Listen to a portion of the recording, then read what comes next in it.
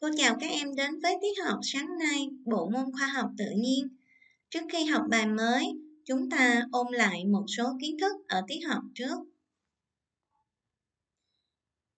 Các em cần nắm rõ các khái niệm liên quan đến vật liệu, nguyên liệu, nhiên liệu cũng như là lương thực, thực phẩm.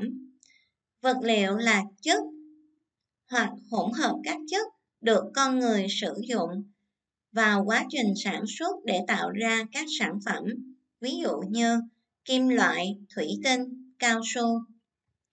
Nhiên liệu là chất đốt, có khả năng cháy, tỏa nhiệt. Và nguyên liệu, nguyên liệu đó chính là vật liệu thô chưa qua xử lý, ví dụ như đá vôi, tre, vân vân và các em phân biệt lương thực và thực phẩm như thế nào? Lương thực là những cây cung cấp cho các loại hạt, cho các loại củ và vòng đời thường là một năm. Ví dụ như gạo, ngô, sắn, các loại ngũ cốc, vân vân. Thực phẩm là những gì mà con người có thể ăn được, uống được nhằm cung cấp chất dinh dưỡng như là thịt, cá, trứng, sữa, vân vân. Các em trả lời câu hỏi, vậy gạo là lương thực hay thực phẩm? Gạo là lương thực cung cấp lượng lớn tinh bột cho con người. Tại sao phải thu hoạch lúa đúng thời vụ? Chúng ta thu hoạch lúa đúng thời vụ để đảm bảo hạt gạo có chất lượng tốt nhất và chuẩn bị ruộng đất cho mùa vụ tiếp theo.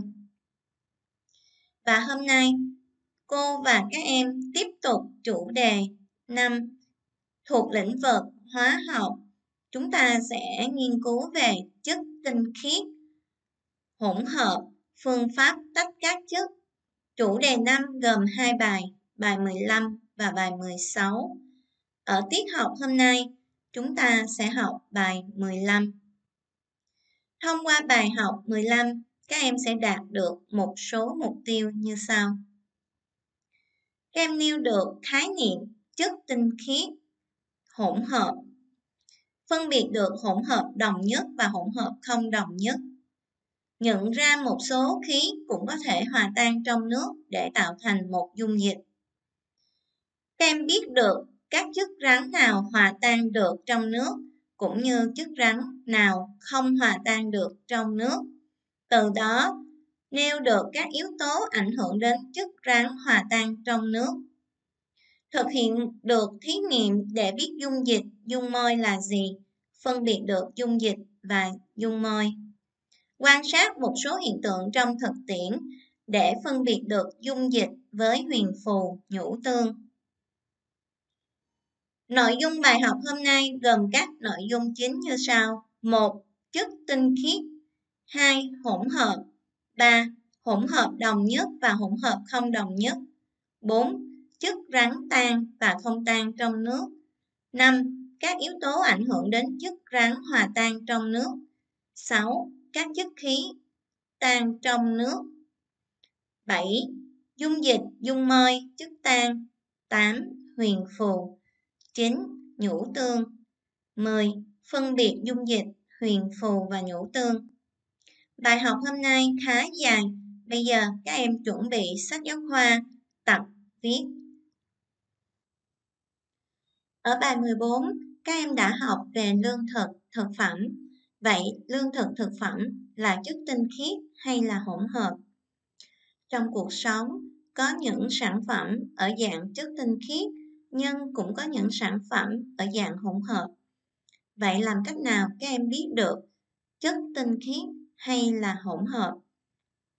Bây giờ, các em bắt đầu tìm hiểu khái niệm về chất tinh khiết. Các em xem hình và trả lời câu hỏi. Em hãy nhận xét về số lượng các chất có trong sản phẩm và các chất đó ở thể nào ở bài học trước đây chúng ta đã học chất có ba thể, thể rắn, thể lỏng, thể khí. Và hình ở đây chúng ta xem đó là nước cất. Nước cất sẽ ở thể lỏng và làm một chất. Tiếp theo, bình khí nén oxygen. Người ta nén khí oxygen vào bên trong, ở thể lỏng, và đương nhiên đó là một chất. Đường tinh luyện cao cấp. Đường sẽ là một chất và ở thể rắn. Muối tinh sấy cao cấp. Muối cũng là một chất và ở thể rắn. Vậy, nước cất, khí oxygen, đường, muối ăn. Các chất này đều là nguyên chất vì không lẫn tạp chất vào và ta gọi là chất tinh khiết. Đường có vị ngọt, muối có vị mặn, nước sôi ở 100 độ và khí oxygen hóa lỏng ở 183 độ C. Theo em, nếu lẫn tạp chất khác thì những tính chất trên có thay đổi không? Tất nhiên là khi chúng ta lẫn tạp chất vào thì mùi vị, nhiệt độ sôi, nhiệt độ ngưng tụ của các chất cũng sẽ thay đổi. Bây giờ các em mở tập ghi bài phần 1 chất tinh khiết.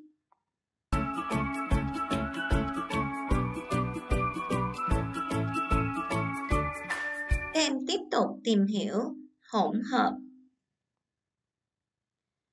Các em quan sát hình bột canh trả lời câu hỏi bột canh có phải là chất tinh khiết không?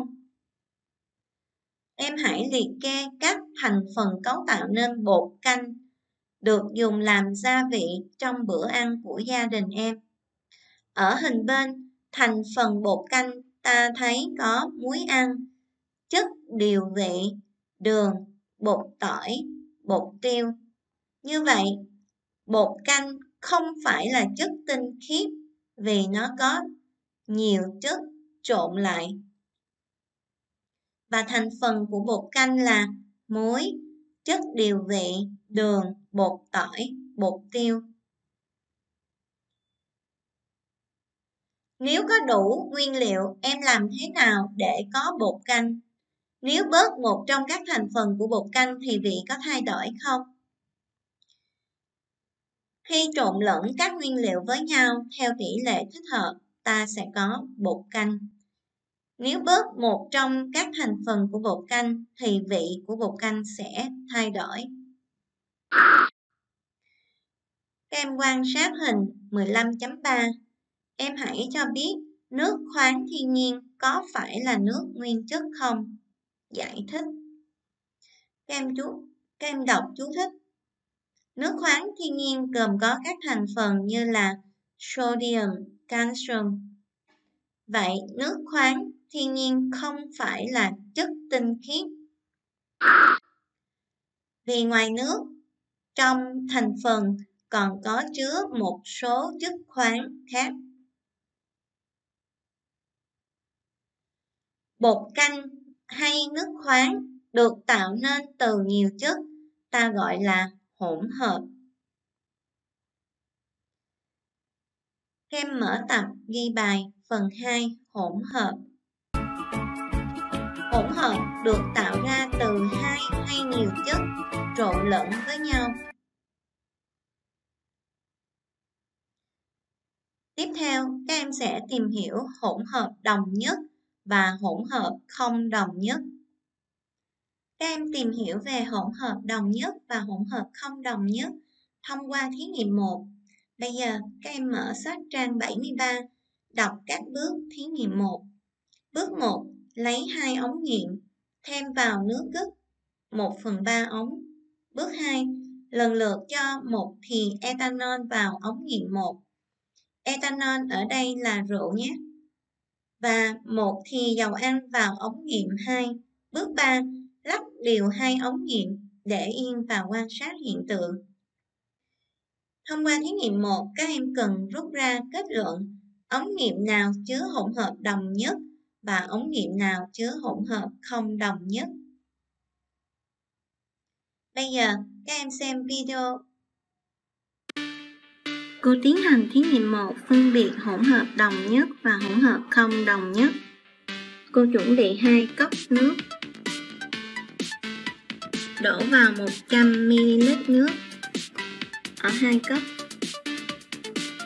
Sau đó cốc 1 Cốc 1 cô đổ rượu vào cho đến 200ml cho đến vạch 200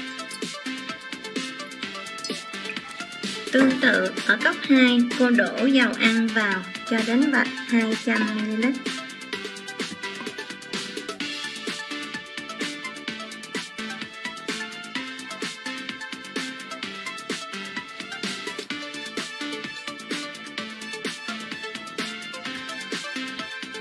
Các em quan sát hai cốc, cốc 1 đổ rượu vào nước cấp 2 dầu ăn vào nước. Các em cho biết um, các chất lỏng có hòa tan với nhau hay không?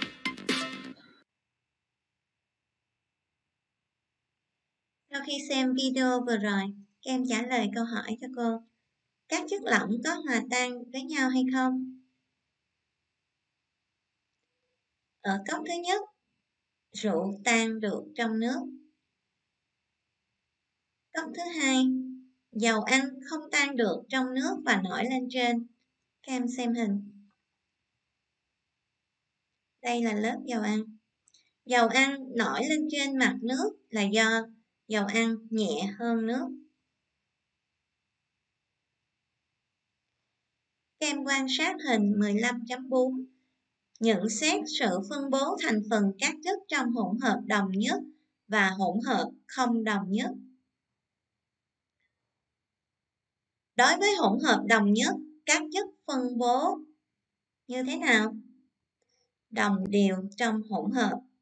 Ngược lại, hỗn hợp không đồng nhất, các chất phân bố không đồng đều trong hỗn hợp. Vậy bây giờ các em đã biết thế nào là hỗn hợp đồng nhất và thế nào là hỗn hợp không đồng nhất rồi nhé. Các em mở tập và ghi tiếp nội dung Phần 3. Hỗn hợp đồng nhất và hỗn hợp không đồng nhất.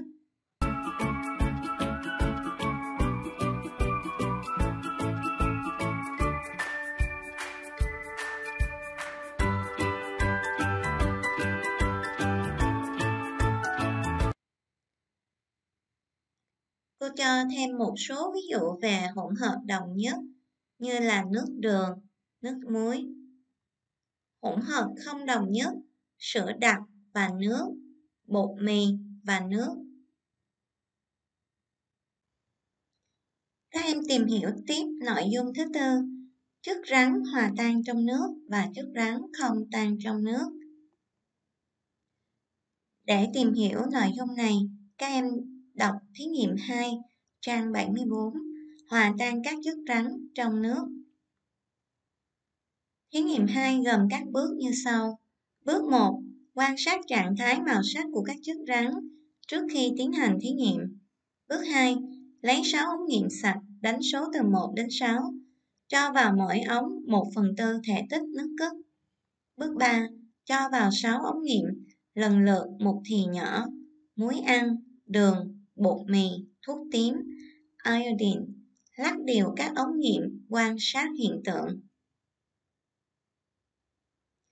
Các em xem hình 15.5. Ống nghiệm thứ nhất ta cho vào muối ăn. Ống nghiệm thứ hai cho vào đường. Ống nghiệm thứ ba bột mì. Ống nghiệm thứ tư cho vào cát. Ống nghiệm thứ năm cho vào thuốc tím. Ống nghiệm thứ sáu cho vào iodine. Iodine đó chính là iốt.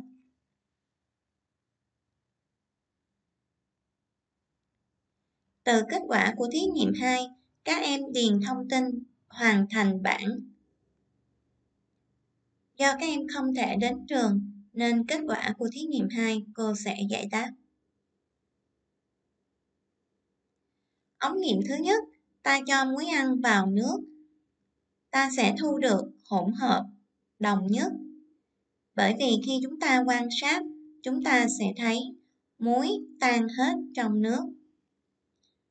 Ống nghiệm thứ hai cho đường vào nước, ta cũng thu được hỗn hợp đồng nhất vì đường tan hết trong nước. Ống nghiệm thứ ba cho bột mì vào nước. Khi quan sát, ta thấy xuất hiện một ít bột mì lơ lửng trong nước, còn lại phần lớn lắng xuống đáy ống nghiệm. Nếu để lâu, toàn bộ bột mì sẽ từ từ lắng hết xuống đáy ống nghiệm. Như vậy, bột mì không tan trong nước và hỗn hợp thu được là hỗn hợp không đồng nhất. Ống nghiệm thứ tư cho cát vào nước. Khi quan sát ta thấy lắng xuống đáy ống nghiệm. Vậy cát không tan trong nước và ta thu được hỗn hợp không đồng nhất. Ống nghiệm thứ năm cho thuốc tím vào nước, ta sẽ thu được hỗn hợp đồng nhất màu tím vì thuốc tím tan hết trong nước. Cuối cùng ống nghiệm thứ sáu ta cho iodine vào trong nước. Khi quan sát ta sẽ thấy chất rắn màu tím đen lắng xuống đáy ống nghiệm và nước vẫn trong suốt không màu. Như vậy, iodine không tan trong nước. Từ thí nghiệm 2, chúng ta rút ra được một số nhận xét như sau. Một số chất rắn tan được trong nước và một số chất rắn không tan được trong nước. Khả năng tan của các chất rắn khác nhau là khác nhau. Các em trả lời câu hỏi, hãy kể tên một số chất rắn tan trong nước, một số chất rắn không tan trong nước. À, chất rắn tan được trong nước đó là muối, đường, mì chính, mì chính đó chính là bột ngọt và một số phân bón hóa học, vân vân. Chất rắn không tan trong nước là sắt, cát, đá vôi, bột mì, vân vân. Bây giờ các em mở tập và ghi tiếp nội dung thứ tư, chất rắn tan và không tan trong nước.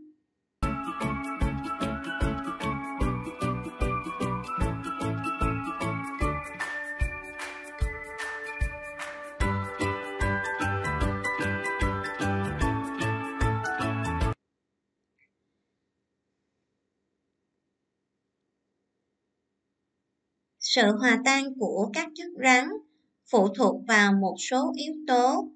Vậy các yếu tố đó là gì? Chúng ta tiếp tục tìm hiểu ở nội dung thứ năm. Các em tìm hiểu các yếu tố ảnh hưởng đến lượng chất rắn hòa tan trong nước. Bây giờ các em mở sách trang 75, đọc thí nghiệm 3, hòa tan đường vàng.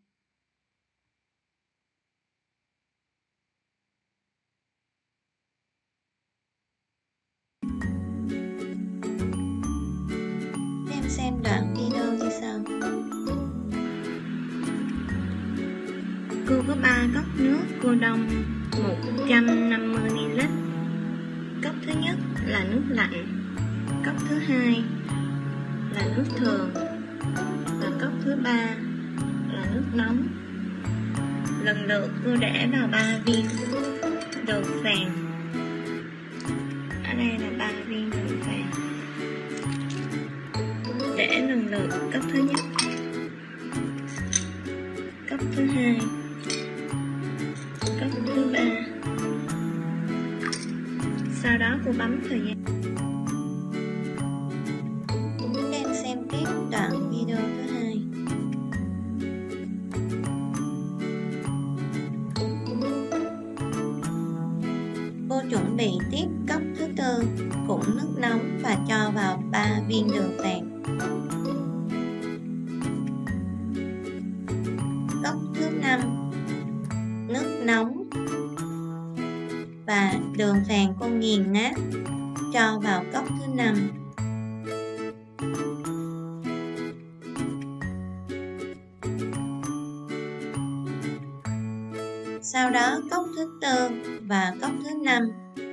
Khuấy đều và bấm giờ.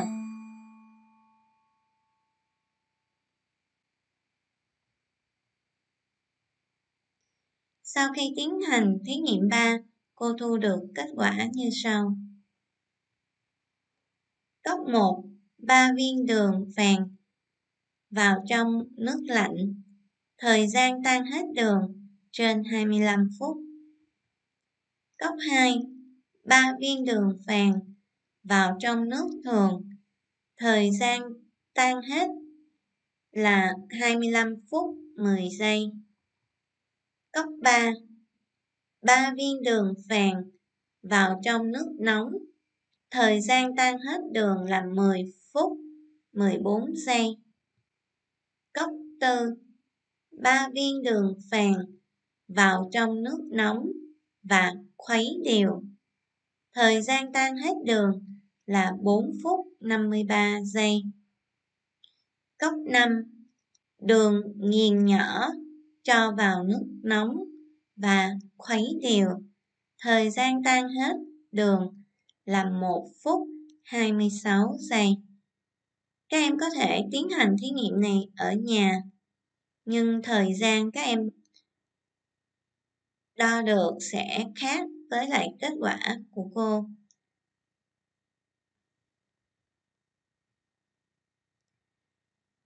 Qua thí nghiệm, ta rút ra được nhận xét như sau. Cốc 1. Đường tan chậm nhất vì đường có kích thước lớn và nước lạnh nên khó tan. Cốc 5. Đường tan nhanh nhất vì đường đã được nghiền nhỏ và khuấy đều trong nước nóng nên dễ hòa tan. Vậy, muốn chất rắn tan nhanh trong nước, ta thực hiện các biện pháp như sau. Khuấy dung dịch, đun nóng dung dịch và nghiền nhỏ chất rắn. Và bây giờ các em mở tập ghi tiếp nội dung phần 5 các yếu tố ảnh hưởng đến lượng chất rắn hòa tan trong nước.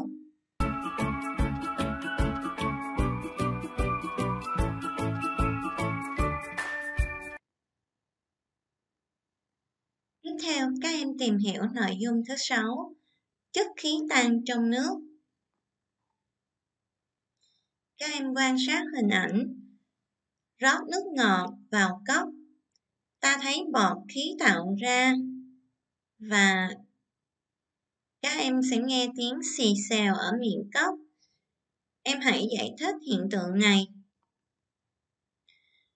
Trong nước ngọt có hòa tan thêm khí carbon dioxide.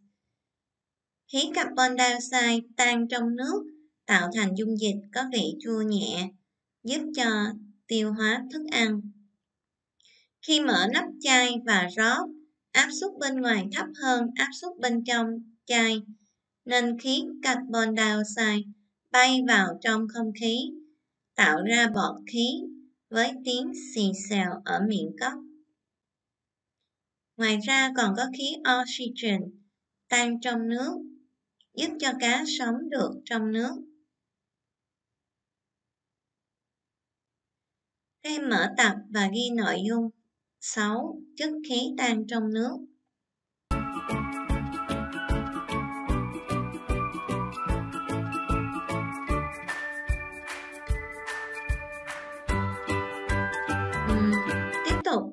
tìm hiểu khái niệm về dung dịch, dung môi, trước tan.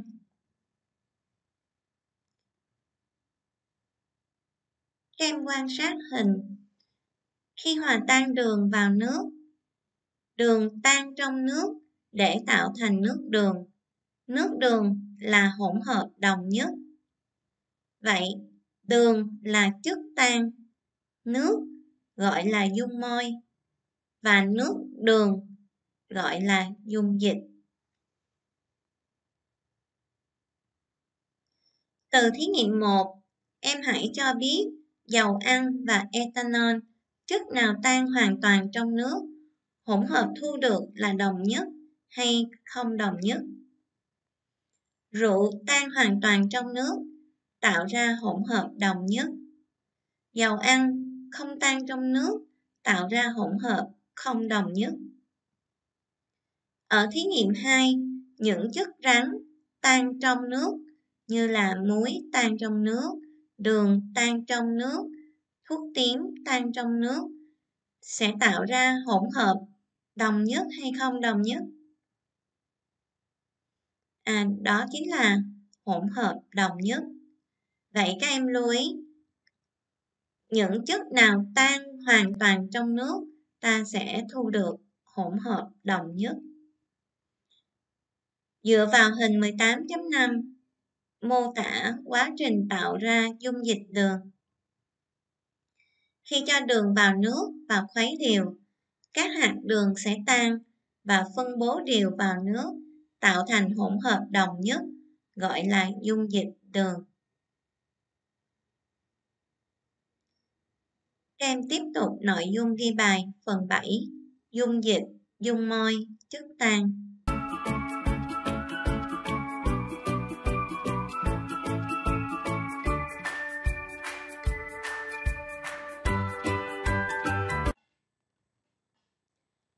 Tìm hiểu nội dung tiếp theo. Thế nào là huyền phù? Các em quan sát hình ảnh. Các em có nhận xét gì về màu sắc của nước ở dòng sông này so với nước bình thường? À, con sông này có màu nâu đất. Màu nâu đất này là do các vật liệu đất đá hay cặn dạng nhỏ mịn hòa tan trôi theo dòng nước. Và khi chảy qua đồng bằng, các hạt phù sa rắn này bị giữ lại, bồi đắp thêm dinh dưỡng cho đồng bằng.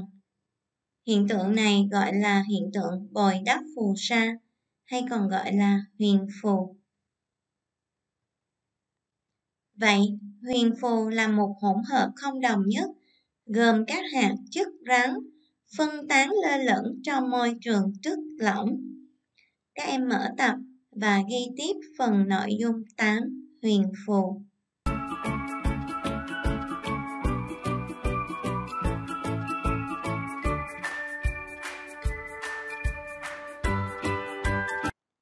Một dạng hỗn hợp không đồng nhất.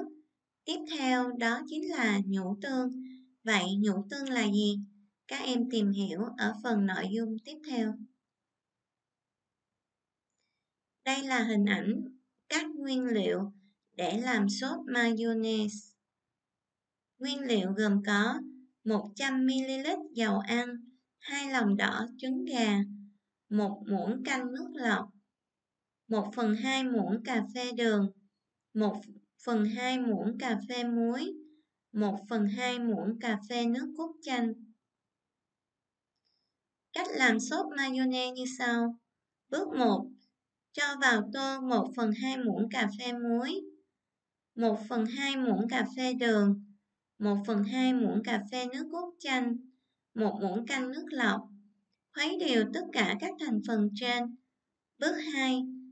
Tách hai lòng đỏ trứng gà và đánh tan. Bước 3. Cho một ít dầu ăn vào lòng đỏ trứng gà, đánh đều. Tiếp tục cho dầu ăn vào đánh đều cho đến hết 100ml. Sau đó cho hỗn hợp đường, muối, chanh vào tô lòng đỏ. Trộn đều. Như vậy ta có hỗn hợp sốt mayonnaise. Các em xem đoạn video hướng dẫn cách làm. Cô hướng dẫn các em cách làm sốt mayonnaise. Bước 1. Các em chuẩn bị hỗn hợp gồm có 1 phần 2 muỗng cà phê muối. Nửa muỗng cà phê đường. 1 phần 2 muỗng cà phê nước cốt chanh và một muỗng canh nước lọc. Các em trộn đều các thành phần.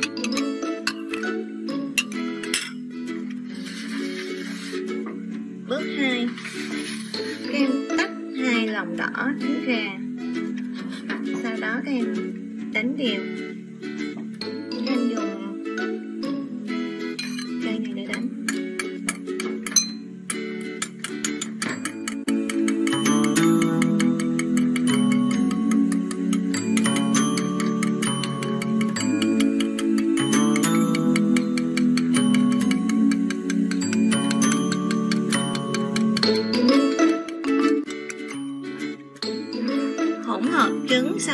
Khi các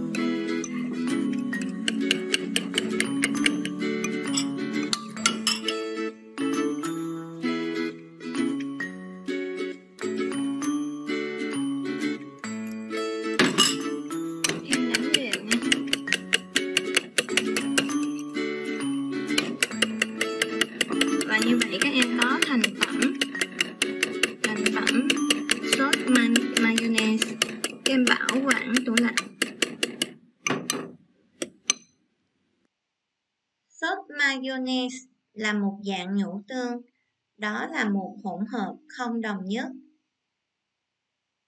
các chất lỏng phân tán trong môi trường lỏng nhưng chúng không hòa tan với nhau.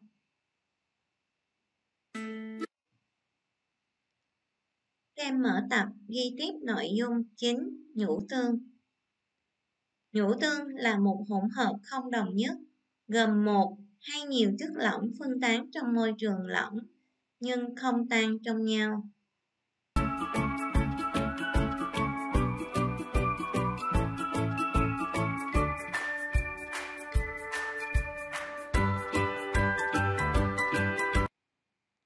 Cô giới thiệu thêm một số hữu tương khác. Nhựa đường. Các em xem cái lớp nhựa màu đen đó chính là nhựa đường.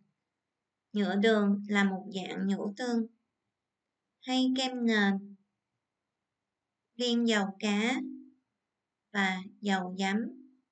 Đây là một số dạng nhũ tương. Các em đã tìm hiểu về dung dịch, về huyền phù và nhũ tương. Vậy làm cách nào các em để phân biệt dung dịch với huyền phù và với nhũ tương? Các em quan sát hình 15.11. Ta có chất rắn đường hòa tan vào trong nước tạo thành dung dịch đường. Vậy đường tan hết trong nước sẽ có dung dịch đường. Một dạng thứ hai đó là huyền phù.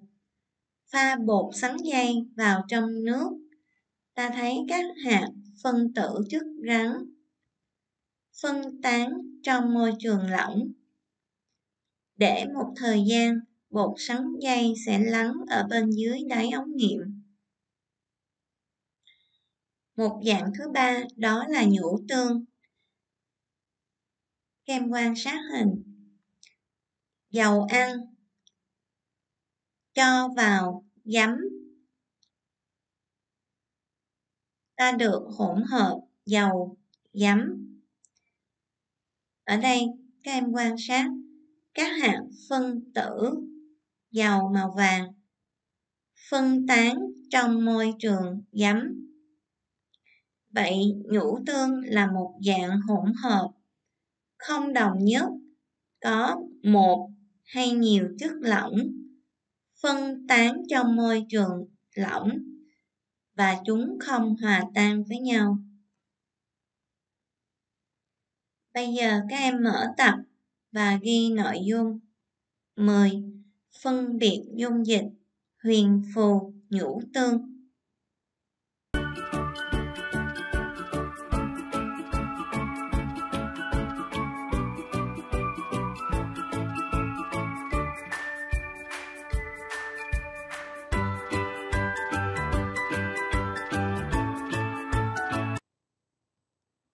Để củng cố kiến thức bài học hôm nay, các em trả lời một số câu hỏi như sau. Hãy phân biệt hai dạng hỗn hợp cát trong nước biển và muối trong nước biển. Cát trong nước biển là huyền phù bởi vì cát ở thể rắn và không thể hòa tan trong nước biển. Muối trong nước biển là dung dịch vì muối ở thể rắn và hòa tan được trong nước biển. Câu hỏi tiếp theo, các em hãy điền vào thông tin theo bảng.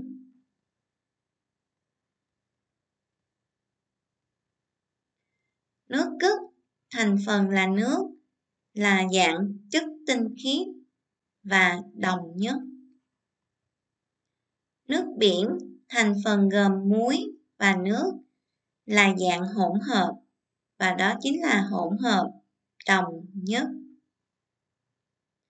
Cà phê sữa, thành phần gồm cà phê và sữa, là một dạng hỗn hợp không đồng nhất vì cà phê không hòa tan được sữa.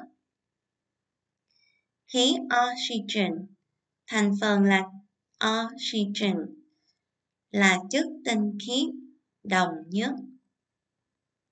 Không khí, gồm khí, nitrogen và khí oxygen là hỗn hợp và đồng nhất. Vữa xây dựng, Người ta trộn xi măng với cát và nước tạo thành hỗn hợp không đồng nhất. Bây giờ, cô trình chiếu lại toàn bộ nội dung bài học. Các em hoàn chỉnh bài học.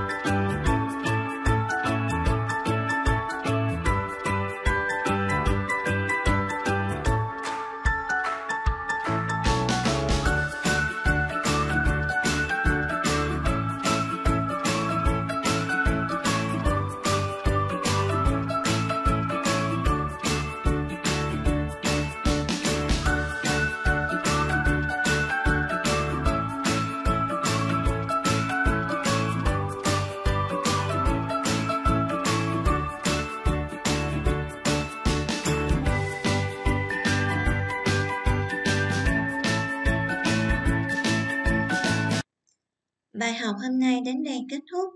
Sau khi học xong, các em vào link Google Form để làm bài tập. Các em ôn tập lại tất cả các bài học, chuẩn bị cho bài kiểm tra ở tuần 10. Cô mến chào tạm biệt.